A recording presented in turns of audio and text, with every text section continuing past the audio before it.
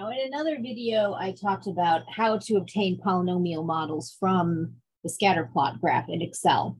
But for this one, I want to go a little bit more in depth as to what polynomials are in general and other ways that we can analyze them in Excel beyond just obtaining the equation and the R squared from the scatter plot. So a polynomial model typically has the form shown here where we have a single input variable really, but uh, we have different powers of that variable. Um, so we to create a nonlinear function, uh, there is a highest degree term. Excel can only go up to degree six, but in general, um, in the scatter plot, it can only go to degree six. But in general, it could be higher. Um, it's very uncommon to use anything as high as degree six even. Um, so six is generally more than sufficient. Most of the time, we're going to use quadratic and cubic models. Uh, if you have multiple variables, there, you know, multiple regression can also be nonlinear in, in a polynomial form, uh, which we'll address at some other point. But typically, this one variable expression is modeled on a polynomial, and then, of course, there's an error term. Now, um, this we, we've seen the scatter plot construct our models, but what we want to be able to do is again analyze them more completely. Um, and for that, we're going to use our data analysis tool pack. Uh, essentially, what we're going to have to do is create uh, transformations of our variables in order to do that, uh, powers essentially of our x variable. And then from there, we can um, treat them essentially as multiple variables. Um, there's a lot of uh, uh, similarities, and, and functionally, what we're doing is we're treating it like a multiple regression model, which we do cover in another video. Um, but the polynomial model, the transformations that we need to uh, perform the analysis um, that goes beyond just constructing the polynomial in the graph is going to require us to essentially treat it like um, a multiple variable model by creating additional variables uh, for x squared for our quadratic model and an x cubed for our cubic model and so on. Now, uh, the example that we're going to do is not going to, it's going to be more typical. It's going to be, uh, we're going to use a quadratic model for it. Uh, it's actually literally built from a sine function, but it has, you know, just one arc of the sine function. And so it looks very quadratic. Um, but we're gonna we're gonna look at that and then um, build a model for it from that data. Uh, and and we'll the the generalization to the cubic model and so on is is very straightforward. Now, one thing that we do sometimes have to worry about, and this shows up in different places, um, if our polynomial models are too large, our inputs, the x values are too large, um, sometimes we can create problems with overflow errors and things like that in, in the computing behind the scene. Um, if you, for instance, are using the year as your input variable, and then you try to create a quadratic model or cubic model from that, um, the difference between 2000 cubed and 2001 cubed sometimes can run into the uh, a problem with the size of the the values that Excel has to manage when it. I mean, 2000 cubed is a very big number. It has a lot of digits. And 2001 or 2002 cubed, the difference between that may run into sort of a memory problem. So sometimes it's necessary to transform years in these models into starting at a, a, a, different value. So instead of starting using 2000, 2001, 2023, whatever, um, shift the, the starting value. Let's say 2000 is equal to zero or 2020 is equal to zero, something like that, in order to make the X values that are going into the calculation um, smaller. And therefore, I mean, there's a big difference between five five cubed and six cubed. Um, that ex- again, it's, a, it's, on an order of magnitude that Excel can easily handle, whereas uh, 2015 and t- cubed and 2016 cubed, again, it may run into those memory capacity errors. Um, and they it may, Excel may not actually be able to tell the difference because the differences are way out on the end of the values. So just something to keep in mind as we go through this process. Uh, these, these shifts, these transformations, um, just subtracting a constant value from all of your x values uh, can make the model easier to work with if you, you get things that don't really make a lot of sense. All right, so let's go over to Excel. Okay, so what I've created here is a data set that uh, models essentially um, looking at the moon and calculating the percentage of visible surface that you can see. So if it's a full, full moon, it's 100% full. And then if it's a new moon, then you can basically see zero of it. And the moon is on like a 29 day cycle. And so, and the, the, the, the actual function that models this is a sine function. Um, but we're not going to worry about that here um, because instead, um, we're, we're we want to build a we don't have sine sine as, it turns out is actually not a function that you can easily uh, compute uh, in the, the same way that we would compute all of these other uh, models using linear algebra, which is a topic for another day. Um, and so we, we can't really do the sine number crunching here, but we can approximate sort of one cycle with a quadratic. And so let's actually just look at the graph and sort of confirm that this does look somewhat quadratic like. Um, and again, we don't want the lines connecting things. There we go.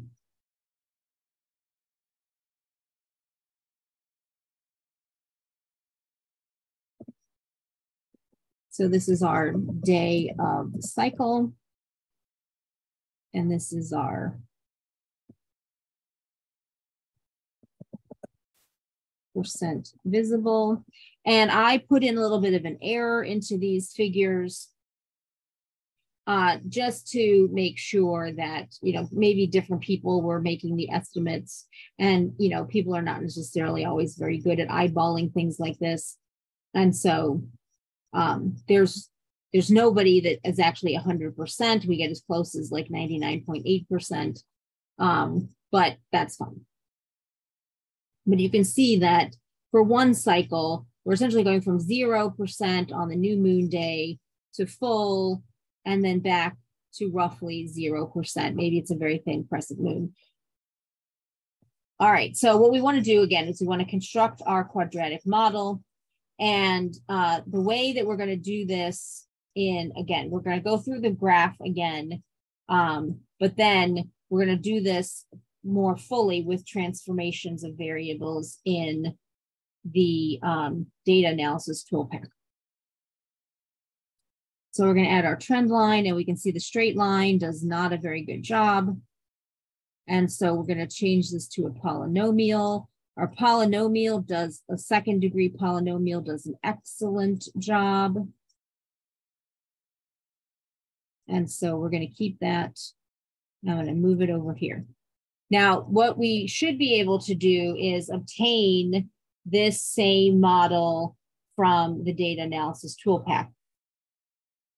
Now, I'm going to actually just look at one other example. Um, I'm going to set the constant equal to zero.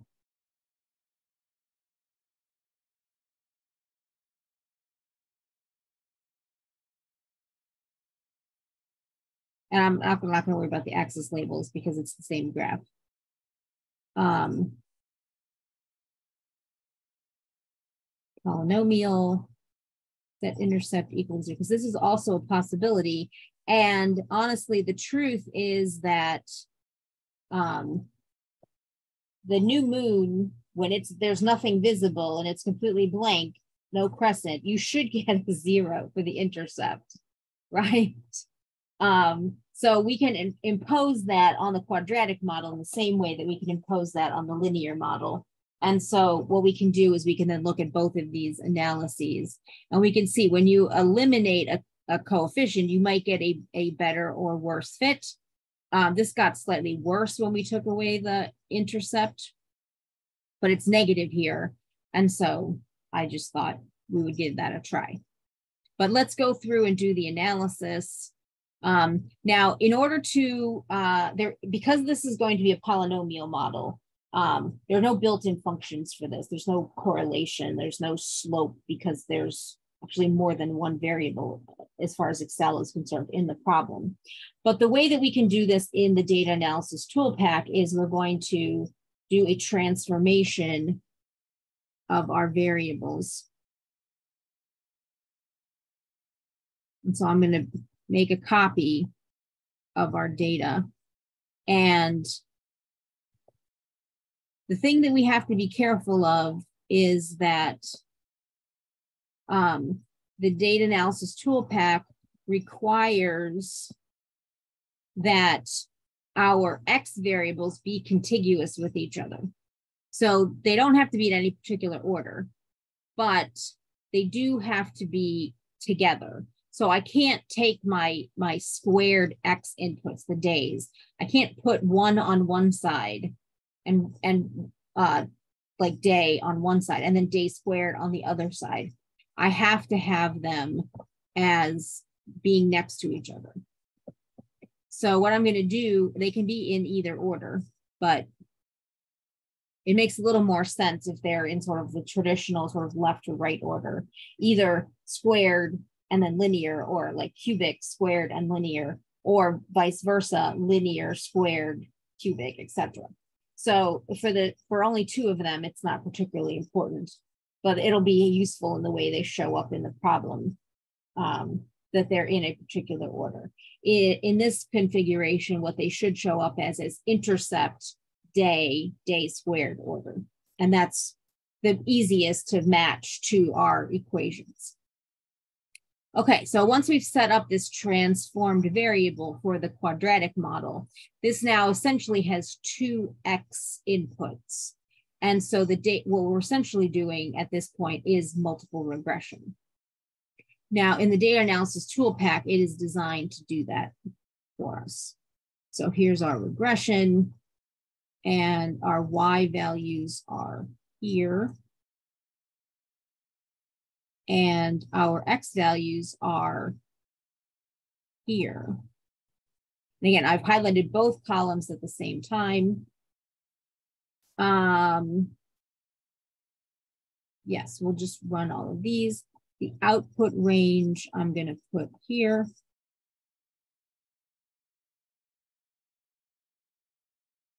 Maybe we'll make it 99% confidence interval this time.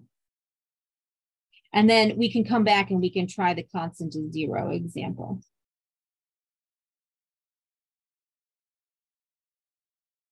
Now, when we have multiple regression, we're going to get two residual plots because it's going to plot the residuals against each of the input x variables. So we're going to have a plot against day and a plot against day squared.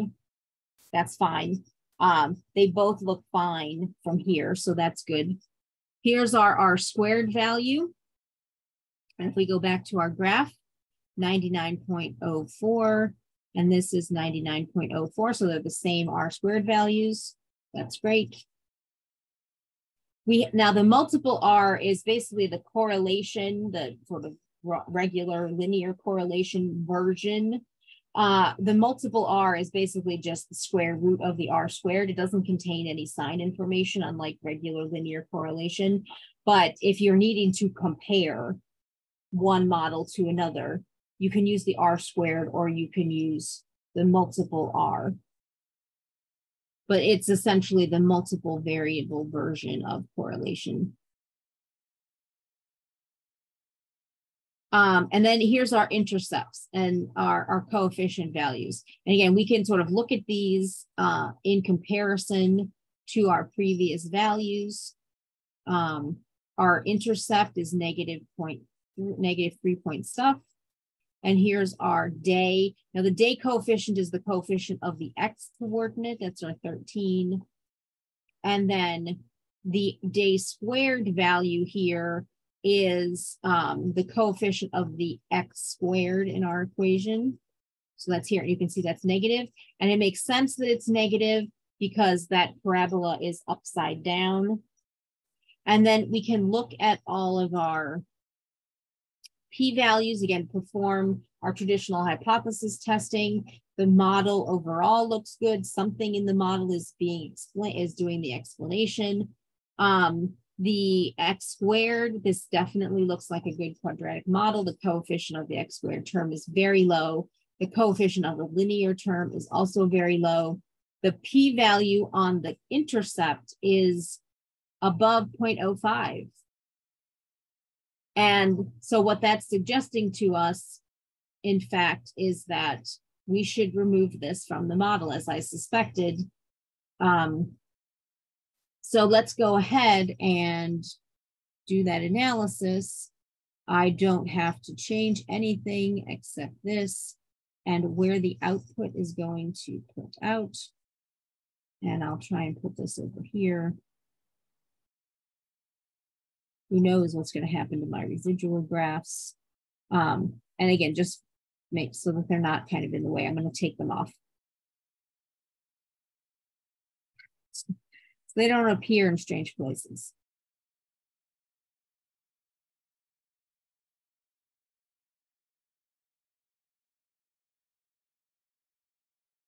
Now let's, again, let's, our, R squared value went down a little bit um, in the graph, 0.9898, but it actually went up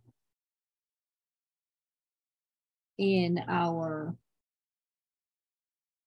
um, data analysis tool pack output. Um, so that's interesting. Um, our coefficients they hardly changed. Day and day squared hardly changed. And they're about, they're the same as they are in this model graph. I, I'm curious as to why these numbers are different, but they are. Uh, we can check our p-values and both of these p-values are both, they're actually even lower than they were before, um, confirming that, you know, this is the right analysis. Um, and because we're only applying two coefficients, when we calculate degrees of freedom to calculate our confidence bounds, uh, we can actually use one additional degree of freedom um, because our original model had three values in it, the intercept, the slope for x, the coefficient for x squared, that's n minus three degrees of freedom. When we remove the intercept, we're left with n minus two degrees of freedom. And so um, we get a, um, uh, slight one additional degree of freedom available um, to sort of shrink that probability in the tails of our confidence intervals. But we have all of our computations that we need in our multiple regression output in order to perform any uh, hypothesis testing or confidence interval calculations that we might like. And again, we can create our residual graphs for these. Now, I wanted to just briefly mention before we quit the adjusted R squared value. The adjusted R squared value takes into account the number of coefficients in the model. And um, essentially what it, it, it suggests is that there's a trade-off between, um, again, for parsimonious reasons, uh, you want to assess whether adding that additional variable to the problem is going to um, uh, basically be offset by having the more complex model. Uh, and so it, that our adjusted R squared value calculates for the number of coefficients. And uh, here, our adjusted R squared value is much smaller versus this one. Uh, and that actually kind of suggests that um, we might actually, that the R squared value in um, the graph that was again a little bit smaller uh, is actually correct. And the R squared value for the full quadratic model might actually be better, but uh, it, it more explanatory. But this p-value for the intercept is contraindicating, it suggests that we really should delete it because it's not contributing in any way. We can't tell if it's different from zero. And so the null hypothesis is that in fact it is zero. And so we remove it. Uh, if you had set your, your significance level to 0.1, however, you would, you would get to keep it. And so just like with multiple regression, sometimes you'll see some of these um, suggestions that maybe uh, things go one way or the other. Um, they're so, so counterfactuals. Um, but uh, the, the whole idea here is that as our models become more complex, um, we sometimes have to make trade-offs in, in different, different ways. And we're not always necessarily going to get uh, everybody to come to the same conclusion. Complexity breeds uncertainty. All right, so this is our full analysis of a polynomial model. And again, this is clearly not linear. We need some kind of nonlinear model and exponentials and logs and things like that. They're just not going to cut it. And uh, we don't need to go to cubic or anything like that. We don't need to account for these little blips. Instead, we, we need to account for this big overall picture. And so a quadratic model is more than sufficient. And the way that we do that uh, to get our full data analysis toolpak analysis is we create a second variable for the power terms. If you're doing a cubic, you need to create the linear, the quadratic, and the cubic, generally speaking, unless you have, again, unless you have reason to eliminate one of the, the co coefficients. This is why we do this p-value analysis.